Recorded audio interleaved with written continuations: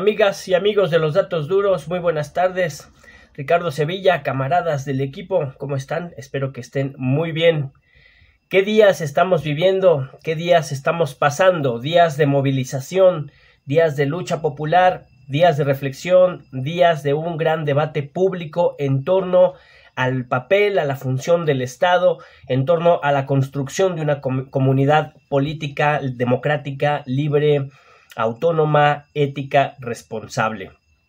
Estamos cumpliendo ocho años de la desaparición forzada de los 43 estudiantes normalistas de la normal rural Raúl Isidro Burgos.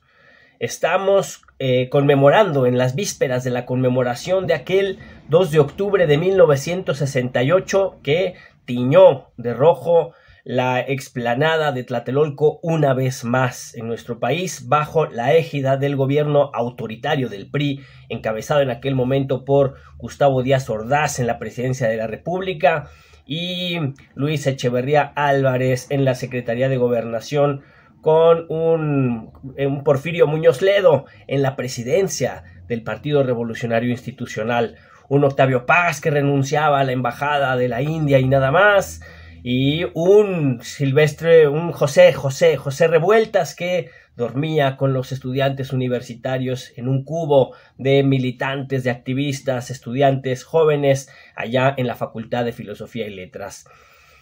Estamos también eh, en los, en los en las, en las postrimerías de la movilización de la Jornada Internacional de Lucha de las Mujeres por la libertad de decidir sobre su propio cuerpo, por decidir o no ser madres, por el derecho al aborto seguro, por el derecho a la salud, por el derecho a una vida libre de violencia en México, en la Ciudad de México, en todos los estados de la República y en todo el mundo, por el derecho a, decidir en libertad. Ha habido una gran movilización de compañeras aquí en la capital del país, ha habido grandes movilizaciones en diferentes partes del mundo exigiendo la libertad de las mujeres a decidir sobre su propio cuerpo, el cuerpo entendido ya como un territorio, el cuerpo entendido como una autonomía viva, pensante, digna, que merece ser reconocida como sujeta, sujeto de derechos y por lo tanto tiene que ser respetada en su libertad en México y en todo el mundo. Entonces se engarzan estos momentos de la historia, 1968, 2014, Ayotzinapa, la movilización feminista, las libertades democráticas, los derechos de las mujeres, los derechos de aquellas minorías que en realidad son grandes mayorías y en un gran debate nacional sobre la memoria, sobre la justicia, sobre la reparación, las garantías de no repetición y la, impunidad que empieza a apestar, a enturbiar las aguas del debate público. Hemos visto también cómo en el campo militar, número uno, Jorge Meléndez, un periodista de esos del mainstream mediático, muy cercano a Televisión Azteca, que siempre ha golpeado y golpeado la figura de Andrés Manuel López Obrador y siempre ha denostado y denigrado el trabajo que se ha hecho en el gobierno desde la victoria del 2018 se le permite entrar al campo militar número uno, entrevistar a uno de los generales que están imputados por la injusticia que se cometió en contra de los estudiantes y eso ha ensuciado un poco la discusión pública sobre si sí se va a hacer justicia, si no se va a hacer justicia, sobre si se puede avanzar en el terreno de democratizar esos espacios tan estrechos, tan cerrados como es el Poder Judicial, como son las fiscalías, como es el Ejército Nacional. Sin embargo, lo que tenemos que poner sobre la mesa es, uno,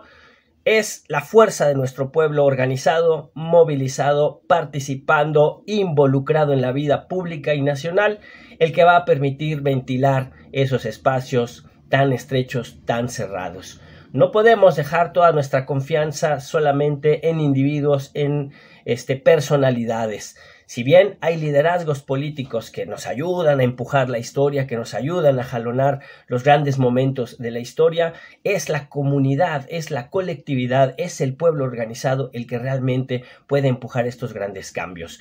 El gobierno de Andrés Manuel López Obrador tiene una gran legitimidad, un gran peso político que permite avanzar estas, estas digamos, estos desarrollos eh, primarios de justicia que permite programar o plantear la, redistribución de la riqueza para mejorar un poco la vida de las personas en un tiempo que es récord, ciertamente, que permite impulsar un gran eh, desarrollo de la industria, un gran desarrollo de la educación y un gran desarrollo de las comunicaciones con esa fuerza popular que tiene. Pero el, el, fundamento de todo lo que está pasando, el fundamento de los alcances que puede tener el cambio es la fuerza organizada de nuestro pueblo, su involucramiento, su protagonismo y su participación. La justicia para Yotzinapa va a llegar con la presión del pueblo desde abajo con el trabajo de Alejandro Encinas, que ha sido un gran trabajo, un, gran esfuerzo por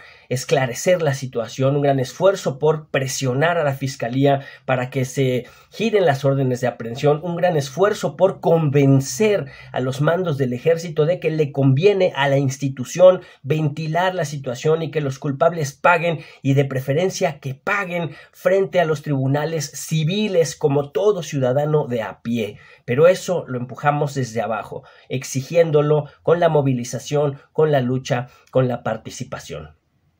Por último, me preocupa que en estos días ha habido eh, opiniones en redes sociales, sobre todo, que intentan criminalizar nuevamente a los jóvenes de Ayotzinapa diciendo, pues al final eran criminales. No se puede hacer justicia a criminales.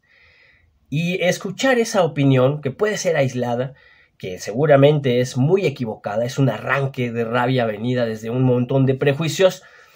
salta eh, la otra gran conmemoración y el grito de independencia que dio nuestro presidente, donde agregó muera el racismo, muera el clasismo.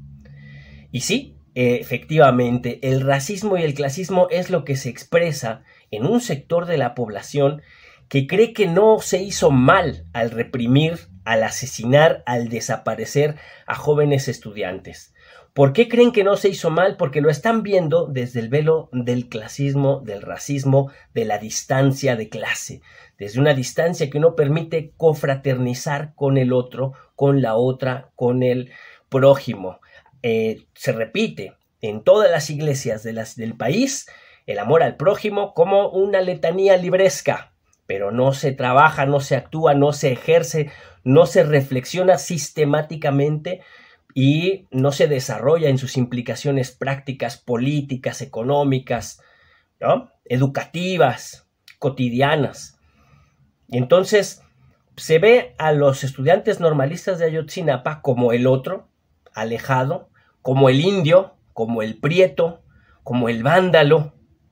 y no se considera que forman parte de una estructura social que ha sido heredada de una relación de colonialidad. Hemos sido colonia. Nuestro país, este territorio que hoy llamamos México, fue un territorio conquistado, que luchó por su liberación, pero en esa lucha por su liberación, al lograr la independencia nacional en 1821, inició un proceso de colonización interna del gobierno de los blancos en contra de las comunidades y los pueblos originarios. Y eso estableció una estructura social de colonialismo interno que la República no pudo resolver y que la revolución de 1910-17 tampoco pudo resolver y que le toca a la cuarta transformación resolver el problema del colonialismo interno, de la explotación que produce clasismo y racismo. El problema no es el clasismo y el racismo nada más, sino las estructuras de dominación que las promueven. Entonces, nuestra cuarta transformación será feminista,